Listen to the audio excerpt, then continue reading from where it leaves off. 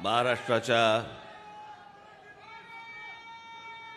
सर्व भागातून आलेल्या माझ्या सर्व ग्रामपंचायत सदस्य आणि सरपंचांचं मी इथे स्वागत करतो.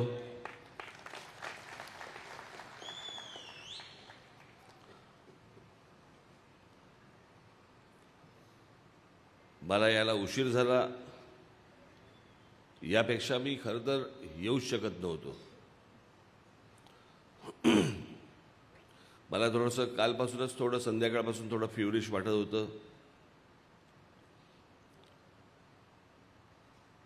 आणि आता मी सकाळी जेव्हा उठल्यानंतर माझे डोळेच उघडत नव्हते मला. इतका अशक्तपणा आत्ताही अशक्तपणाच आहे. मी बाळानंदगावकरांशी बोलत होतो.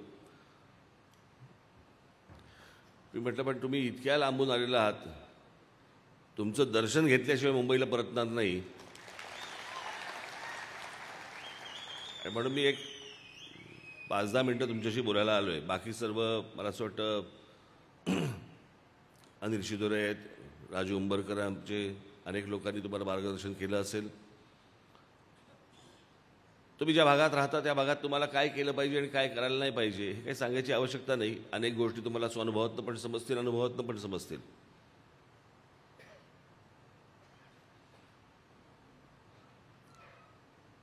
मग त्याचा निधी निधी कसा वापरायचा? तो निधी कसा आणायचा? मग त्याच्यातनं कोणत्या योजना करायच्या? कुठच्या कुठच्या योजना करायच्या? या सगळ्या गोष्टी तुम्हाला ठाऊक नसतील अशातला भाग नाही आहे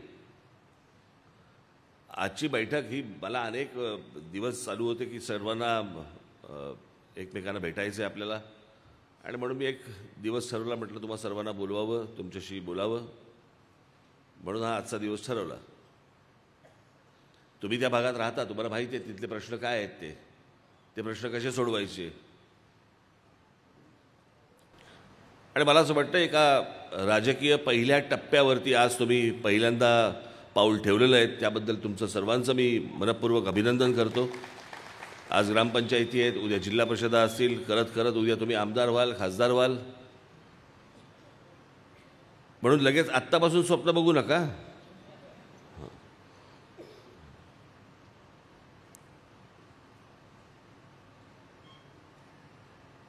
तुम्ही त्या भागामध्ये अनेक योजना आणाल अनेक गोष्टी कराल मला ह्याची कल्पना आहे. अनेकांनी तुम्हाला अनेक विविध सूचना पण केल्या असतील. मला एकच सूचना करायची आहे तुम्हाला. एकच दुसरी काही सूचना करायची नाही आहे बाकी तुम्ही सर्व हुशार आहात प्रामाणिक आहात लोकांचे प्रश्न सोडवण्यासाठी उत्सुक आहात इच्छुक आहात. मला तुम्हाला फक्त एवढंच सांगायचं आहे गाव स्वच्छ ठेवा.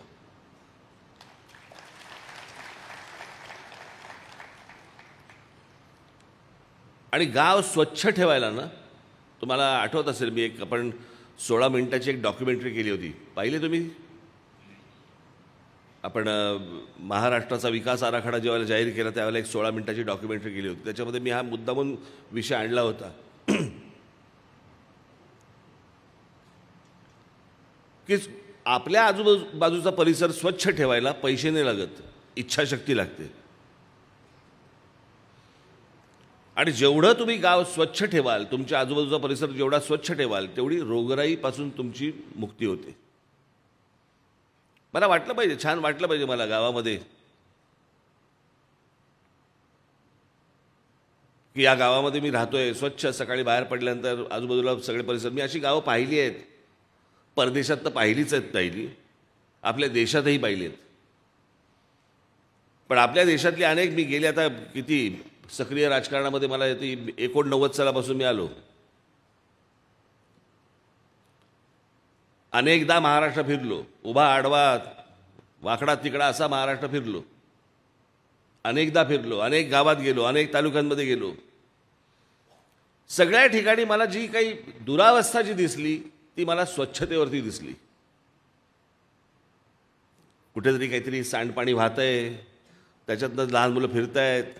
त्यातनं डुकरं पण फिरतायत. कचरा तिकडेच पडलेला आहे.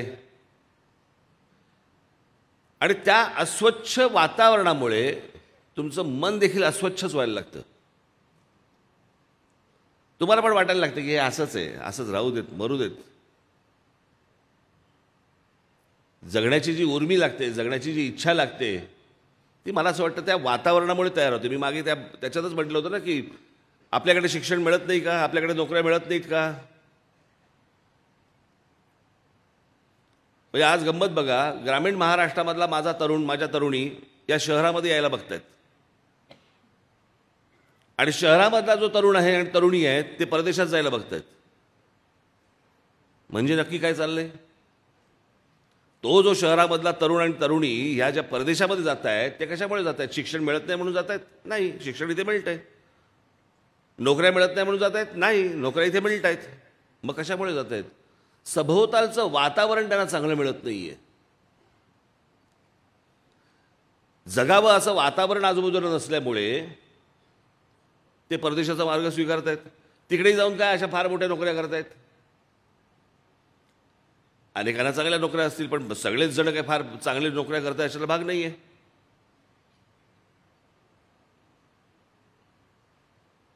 आत्ताच कुठतरी आला ना का पिक्चर डंकी. इथून तिथून लपून पळून जायचं तिकडे परदेशामध्ये जायचं आणि तिकडे काय स्वीपर म्हणून काम करायचं. स्वीपर म्हणून काम तर इथे पण मिळतं. आजूबाजूचं वातावरण. मला असं वाटतं ते वातावरण गावातलं निर्माण करणं चांगलं. हे पहिला तुमचा अजेंडा असला पाहिजे. पहिलं काम ते असलं पाहिजे. त्या गावातल्या मुलाला काही नवीन गोष्टी सुचल्या पाहिजेत. ते वातावरण असं असलं पाहिजे की नवीन गो- नवीन नवीन कल्पना सुचल्या पाहिजेत.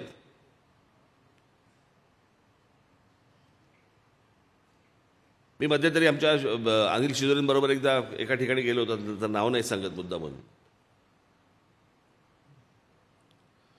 त्या गावात लोडशेडिंग पण लोडशेडिंगला पण काय अर्थ नाही. म्हणजे अठ्ठेचाळीस तास पाणी तुमच्या वीज यायची नाही वगैरे वगैरे. असं मधून नाला दोन बाजूने दोन घरं आणि वाईट अवस्था. त्या गावात एक मी टाकी पाहिली. आणि मग विचार करत होतो की माझ्या शालेय जीवनामध्ये मी पहिल्यांदा पाहिलेला भ्रष्टाचारी ग्रामपंचायत. अत्यंत भ्रष्टाचारी ग्रामपंचायत मी शालेय जीवनामध्ये पाहिलेली ती म्हणजे रामगड ग्रामपंचायत. रामगड ग्रामपंचायत पाहिले तुम्ही? शोलेमधली. पाहिले? त्या गावातला सर्वात श्रीमंत ठाकूर आहे ज्याच्या घरात लाइट नाही आहे पण त्या गावात टाकी आहे. त्या ठाकूरचा बाप चढवणार होता पाणी.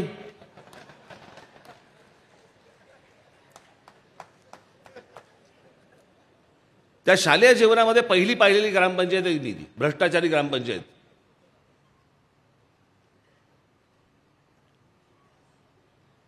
त्या गावात गेल्यावर मी तेव्हा ती टाकी पाहिली तेव्हा मला तीच आठवली रामगडची.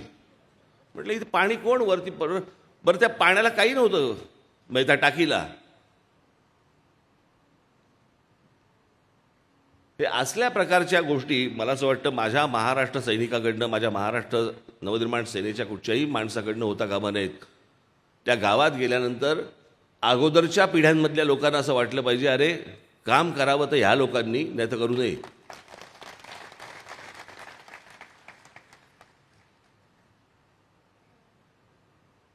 आणि म्हणून मला तुम्हाला एवढंच सांगायचं आहे आज या क्षणी तुमचं गाव तुम्ही अत्यंत चांगलं ठेवा स्वच्छ ठेवा.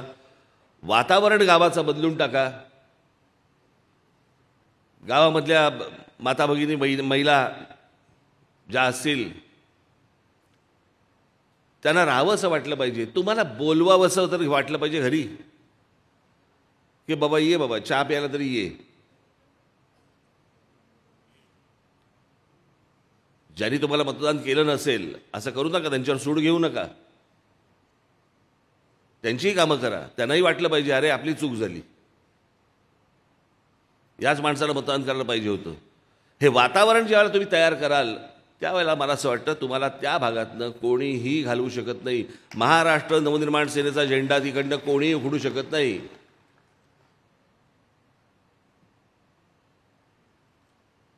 आज ज्यावेळेला तुम्ही सगळेजण परत जाल त्यावेळेला माझी तुम्हाला सर्वांना विनंती आहे. हे सगळे आकडेवारी आणि सगळ्या गोष्टी निधी आणि सगळ्या गोष्टी तुम्ही करालच. ती क्षमता आहेच तुमची.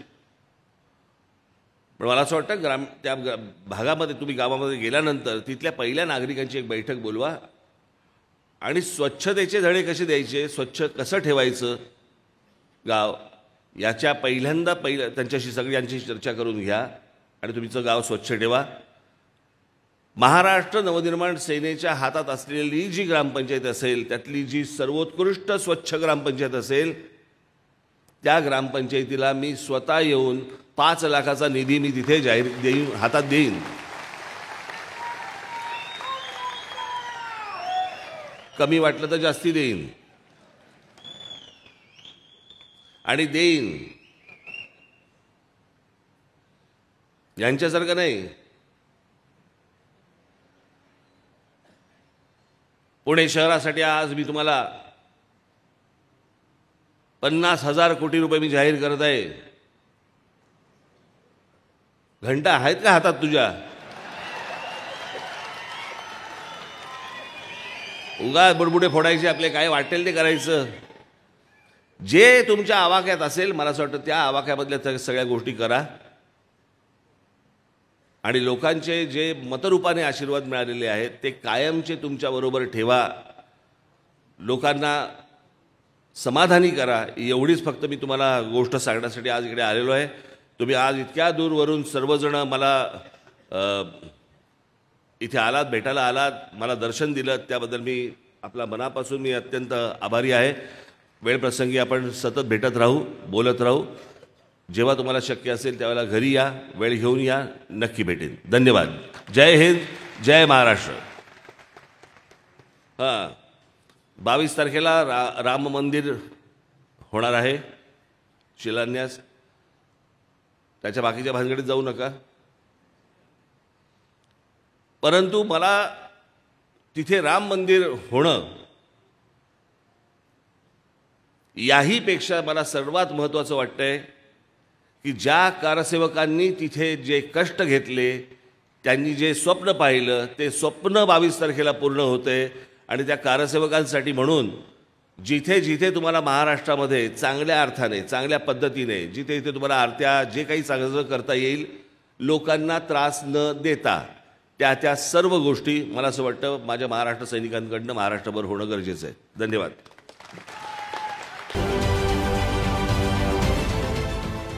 देश विदेशातील प्रत्येक घडामोडींचे लाईव्ह अपडेट मिळवण्यासाठी आता साम टीव्हीच्या सर्व सोशल मीडिया प्लॅटफॉर्मला लाईक फॉलो आणि सबस्क्राईब करा. तसंच सर्व नोटिफिकेशनसाठी बेल आयकॉन प्रेस करायला विसरू नका.